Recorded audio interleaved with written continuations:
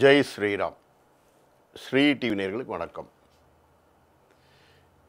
இன்று கலியுகம் விகாரி வருஷம் புரட்டாசி மாதம் பதினான்காம் நாள் அக்டோபர் ஒன்று இந்த புண்ணிய தினத்திலே அன்னி பெசன்ட் அம்மையார் பிறந்தார்.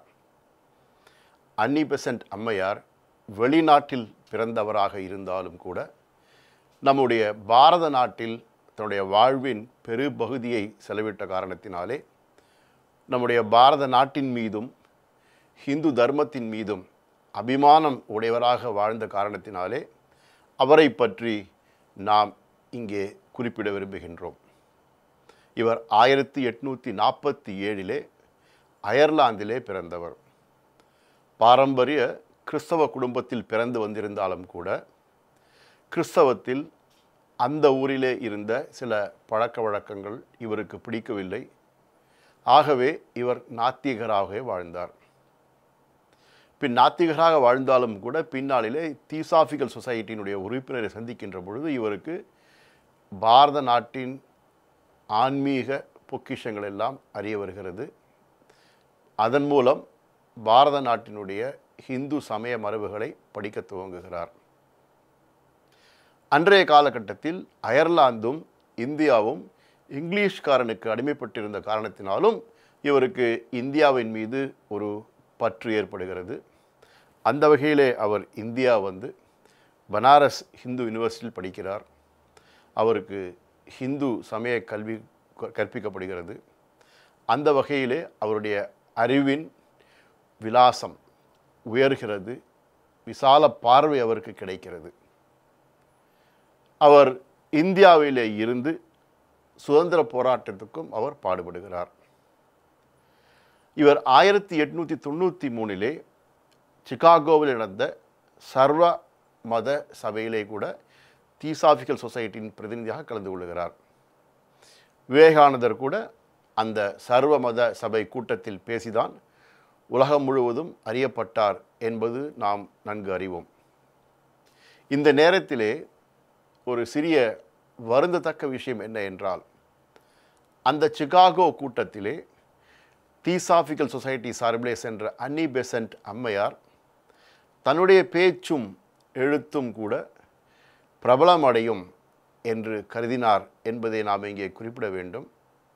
அந்த வகையிலே விவேகானந்தர் பிரபலமடைந்தது தீசாபிக்கல் சொசைட்டி எரிச்சலுக்கு ஊட்டியது என்பதை நினைவு கூறுகிறோம். அந்த சர்வ மத சபையில் விவேகானந்தர் பேசி பிரபலமடைந்து அமெரிக்கா முழுவதும் அவர் சூறாவளி சுற்றுப்பயணம் செய்து அவர் பேச்சு வழங்கி கொண்டிருக்கின்ற பொழுது விவேகானந்தரை பற்றிய அவதூறுகளை கூட இந்த தீசாபிக்கல் சொசைட்டி பொறாமை காரணமாக எரிச்சல் காரணமாக செய்தது என்பதும் உண்மைதான். இருப்பினும் கூட நாம் ஏன் அன்னி பெசன்ட் அம்மையாரை இங்கே குறிப்பிடுகின்றோம் என்று சொன்னால் அவர் அடிப்படையில் ஹிந்து தர்மத்தின் மீது ஒரு நம்பிக்கை அவருக்கு இருந்த காரணத்தினாலே குறிப்பிடுகின்றோம். மேலும் சுதந்திர போராட்டத்துக்காக அவர் பாடுபட்டார் என்பதாலும் அவரை நாம் இங்கே குறிப்பிடுகின்றோம்.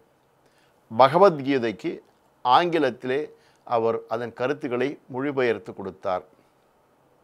தீசாபிக்கல் சொசைட்டியினுடைய தலைவரான பின் பல்வேறு சமய ஒப்பீட்டு மாநாடுகள் நடத்தி ஹிந்து தர்மத்தின் மேன்மையை கூட அவர் உணர வைத்தார் ஆயிரத்தி தொள்ளாயிரத்தி ஏழாம் ஆண்டு சூரத் மாநாடிலே காங்கிரஸிலே மிதவாதிகளுக்கும் தீவிர போக்குடையவருக்கும் சண்டை சச்சரவு ஏற்பட இவர் அதை சமாதானம் செய்து வைத்தார் என்பதை நாம் குறிப்பிட வேண்டும்.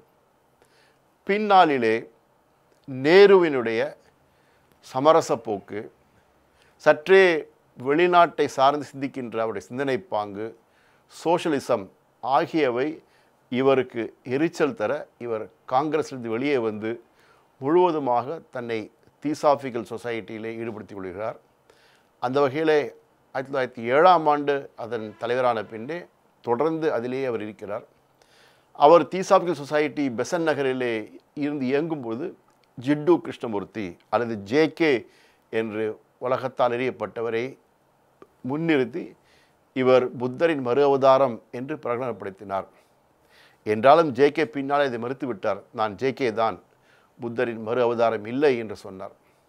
அந்த வகையிலே தன் வாழ்நாள் முழுவதும் பாரதத்திலே செலவிட்டு ஆயிரத்தி தொள்ளாயிரத்தி முப்பத்தி மூணிலே உயிர் மறைந்தது.